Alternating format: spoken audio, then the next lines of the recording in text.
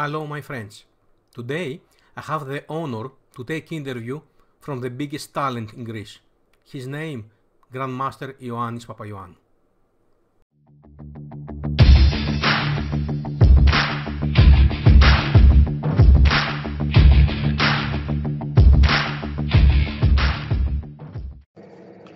Hello, my friends. Tonight, close to me is Mr. Yannis Papaioannou. Hi. The best Greek player ever. Yannis, what was your top rating? My top rating maybe one year ago was 2652. But I have to say that I'm, I'm not a professional player. I'm mostly a professional trainer. I play very rarely. That's why my rating may be still uh, a bit high. Okay, so uh, as you are a very good trainer, we all know about this. Can you give us some advice, one or two things that uh, the players has to do? We speak about players of 1,600 to 2000, Mhm. okay? So they should, uh, of course, they should spend more time on uh, end games, technical positions, and as well as solving uh, tactical exercises. Uh, solving studies is also a very good advice. Not very difficult studies, but uh, it will help them a lot to improve uh, their calculation. The most important thing in chess is calculation, and and also spend some time on opening, but not very deep. It's uh, it's not so necessary for a player of such strength strength yet. Okay, uh, one other question. How many tournaments a year you think that a player should play? Well, it depends on his age, it depends on, on his goals, yes, how good he wants to become. Let's say for a young player. Uh, I would say maybe five tournaments per year should be should be okay. Five, six tournaments. Okay, yes. and for an adult that has not so much time? Well, uh, I suppose just a bit less, maybe three tournaments uh, uh, per year. During summertime, uh, I think it's a good uh, idea to play because your mind is uh, in best in, in you know more free, you know, without too many responsibilities. So maybe it's probably a good idea to spend more time playing uh, during summertime. Okay, and uh, what do you think is the big difference between Carlsen and the number two, three, and four? This time, this uh, specific I- moment. I will tell you. First of all, they, they don't have such a huge difference in the, in their level. They are close. There is absolutely no question. Carlsen is still the best player in the world. He's a unique, and magnificent, and great talent. Nobody can uh, can imitate so far. So he feels the, the positions much better than anybody else. This is the the, the biggest difference uh, for Carlsen. It's uh, somebody should train a lot in order to uh, to compensate for for his uh, less good understanding of the game. He should train a lot to reach Carlsen's uh, level. Some of the top players. Okay, so now we'll go to make a puzzle as. Okay, Yannis make uh, didn't know anything about this. Just make uh, one, two, just to get used to the idea, and now we'll see how a good player think. Are you ready? Yes, I hope I won't be embarrassed. Okay, let's see.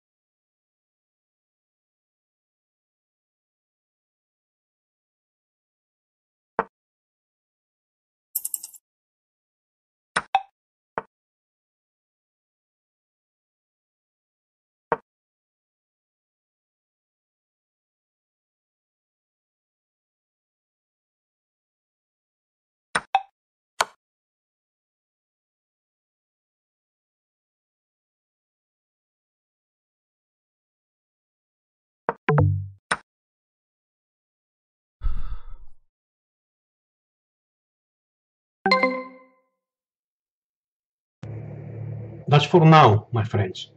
In the second part, Ioannis Papaioannou will analyze one of his games. Good night to all of you.